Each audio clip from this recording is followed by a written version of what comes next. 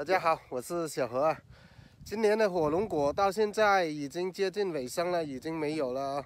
那么昨天有几个朋友都下了几单的火龙果，我现在呢来我姐的这个地里面找一下，看能不能找到个呃十来二十斤回来发货给他们呢。现在看上去都没有了，来我们看一下，你看现在火龙果空溜溜。都没有了，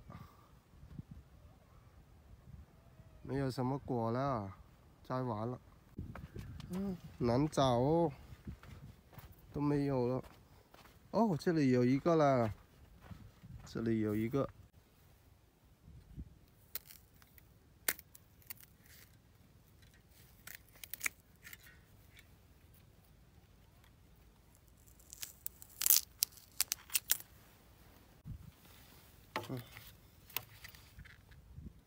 有一个啦，今年我也自己要种一些才行。我要种那种燕窝火龙果，然后也种这一种。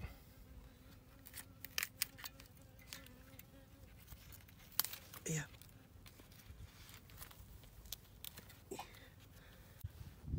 啊，我跟大家讲一下，这个火龙果它很奇怪呀。你看，像夏天的时候，它是上面这一面啊朝上面的这一面朝太阳呢，它就是非常熟、非常红。然后呢，到冬天的时候，它就是它的腹部下面这里先熟、先红了啊，好奇怪呀！你看，本来是这样子，对吧？这一面是朝天的，朝天上的。按道理来说，太阳晒的话，这一面先熟先红才对啊。你看，不过它是下面的先熟，然后夏天的时候它就是上面的先熟，冬天的话它就反过来啊，奇怪了。啊，这边这个比较小，这个应该也可以了。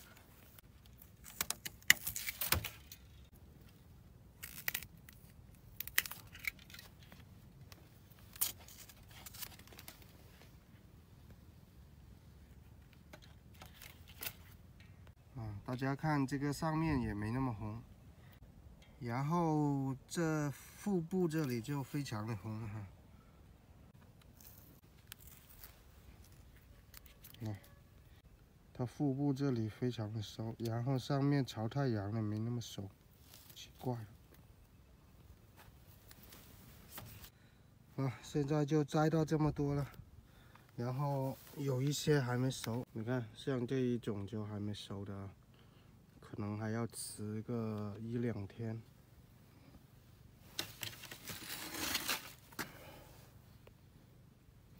啊，给大家看一下，这火龙果啊，它分有几种的。你看这一种长长的，这一种是大红软枝，然后这一种是珍珠，珍珠火龙果。